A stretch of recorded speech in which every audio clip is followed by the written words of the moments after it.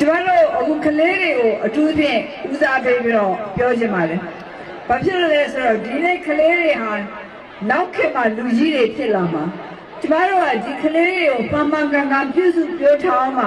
ကျမတို့နိုင်ငံရဲ့အနာဂတ်ကကောင်းမှာဖြစ်ပါတယ်။အဲ့တော့မိဘတွေကိုကျမအမြဲပဲတိုက်တွန်းခြင်းတယ်ကလေးတွေကိုငယ်ငယ်တည်းကမှန်မှန်ကန်ကန်သွန်သင်ဆုံးမှာပါ။မှန်မှန်ကန်ကန်သွန်သင်ဆုံးမှာပါဆိုတာဟာ ကိုယ်အကျိုးအတွက်ပဲကြည့်ဖို့ကလေးတွေကိုမသိပါနဲ့ကျမတို့နိုင်ငံမှာဆိုလို့ရှိရင်တချို့လူကြီးတွေကကလေးတွေကိုကိုယ်အောင်မြင်ဖို့ကိုယ်တူကောင်းစားဖို့ကိုယ်မိသားစုကောင်းစားဖို့ဒီလိုပဲတင်ကြပါတယ်အဲ့ဒီလိုတင်လို့ရှိလို့ရှိရင်ကလေးတွေကကြီးလာတဲ့အခါကျရင်လေကိုယ်အတွက်ပဲကိုယ်လုပ်ကြပါလိမ့်မယ်ကလေးတွေကဆိုရင်ငယ်ငယ်လေးကစပြီးတော့ငါတို့ဘယ်လိုလူကြီးတွေဖြစ်ချင်တယ်လဲဆိုတော့စဉ်းစားရမယ်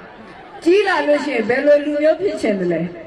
အဲ့ဒါကိုစဉ်းစားရမယ်စဉ်းစားတဲ့အခါကျလို့ရှိရင်အပြင်ကိစ္စတွေလည်းမစဉ်းစားပါနဲ့ကြီးလာရင်ငါကားကြီးစီးကျင်တယ်လို့အဲ့ဒါမျိုးတွေမစဉ်းစားပါနဲ့ကားကြီးတွေတိုက်ကြီးတွေအဟိုအမျိုးမျိုးပေါ့နော်အဝိအစားတွေကောင်းမွန်တဲ့အဝိအစားတွေဆိုတာအမြဲခံတာမဟုတ်ပါဘူးဒီနေ့ရှိတဲ့ကားကနောက်တစ်နေ့ပျောက်ရင်လည်းပျောက်သွားနိုင်ပါတယ်ဒါပေမဲ့ကိုယ့်ရဲ့စိတ်ဓာတ်ကတော့ကိုယ်တစ်သက်လုံးပိုင်သွားမှာ ကိုယ့်ရဲ့စိတ်ဓာတ်ကကိုယ်ကလွဲလို့ဘယ်လူမှမပိုင်နိုင်ဘူးအဲ့ဒါကိုငယ်ငယ်တည်းကမှတ်ထားရမယ်ဘယ်လောက်ပဲပိုက်ဆံချမ်းသာချမ်းသာဒီလူကမဖြောင်းမဘူးဆိုလို့ရှိရင်မဖြောင်းမဘူးလို့ပြောတဲ့အတန်ကြီးကြားမှာပဲဒီလူကြီးကတော့ပိုက်ဆံချမ်းသာပါတယ်ဒါပေမဲ့ तू ကမဟုတ်တာတွေလုပ်ပြီးတော့ချမ်းသာတာ तू ကလက်စားပြီးတော့ချမ်းသာတာ तू ကဘယ်လိုကလိန်ကကျစ်လုပ်ပြီးတော့ချမ်းသာတာဆိုရင်အဲ့ဒီမှာဆိုရင်ဘယ်မှာဂုံရှိတော့မလို့နော်ပြီးတော့ ယ့်ရဲ့ဂုံဆိုတာကိုယ့်ရဲ့ဖြောင်းမှတည်ကြည်ခြင်းပေါ်မှာမူကြည်တယ်အဲ့ဒါတော့သီလပေါ့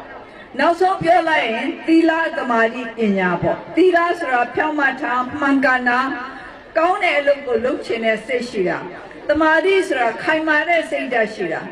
နောက်ပြီးတော့ပညာဆိုတာတော့စောစောကပြောတဲ့အတိုင်းပဲကျောင်းမှာရတဲ့ပညာရောကျောင်းပြင်ပကရတဲ့ပညာရောကျွန်မခဏခဏသတိပေးပါတယ်တကယ်ပညာဆိုတာဟာ အခြေအနေတစ်ခုကိုမှန်မှန်ကန်ကန်သုံးသပ်နိုင်တဲ့အရေးချင်းပဲကျောင်းစာအုပ်တွေအလွတ်ကျက်ထားပြီးတော့ဘဝရဲ့အခြေအနေတွေကိုမှန်မှန်ကန်ကန်မသုံးသပ်နိုင်လို့ရှိရင်ဒါတကယ်ပညာလို့မခေါ်ပါဘူးအဲ့ဒါကြောင့်မလို့ကျမတို့ကလေးတွေရောလူကြီးတွေရောသီလသမာဓိပညာဆိုတာကျမတို့နိုင်ငံအတွက်ဘယ်လောက်လိုအပ်တယ်လဲဆိုတာကိုသိရင်သိချင်ပါတယ် တထေးဖြစ်ချင်တယ်ဆိုတဲ့စိတ်ရှိပြီးတော့တထေးဖြစ်ဖို့အတွက်ဘယ်လောက်အလုံးလုံးရမယ်ဘယ်လောက်ဖြောင်းဖြောင်းမှမှဖြစ်ဖို့အတွက်ကြိုးစားရမယ်ဆိုတာကိုမစင်စားလို့ရှိရင်ကိုကိုကိုမကြိုးစားလို့ရှိရင်တထေးဖြစ်ရင်လည်းဖြစ်ပါလိမ့်မယ်ဒါပေမဲ့ကောင်းတဲ့တထေးတော့ဖြစ်မှာမဟုတ်ဘူးဒါကြောင့်မလို့ကိုယ်တော်ဘက်ကတထေးတွေနဲ့လည်းများတယ်ရှင်အဲ့တော့ ဒါနဲ့ကောင်းတဲ့တစ်သေးတွေလားမကောင်းတဲ့တစ်သေးတွေလားဆိုတော့ကိုယ်တိုင်ပဲသိမှာပေါ့နော်အဲ့တော့ကိုယ့်ဘာကိုဆုံးဖြတ်ကြပါဒါကျမတို့နိုင်ငံအတွက်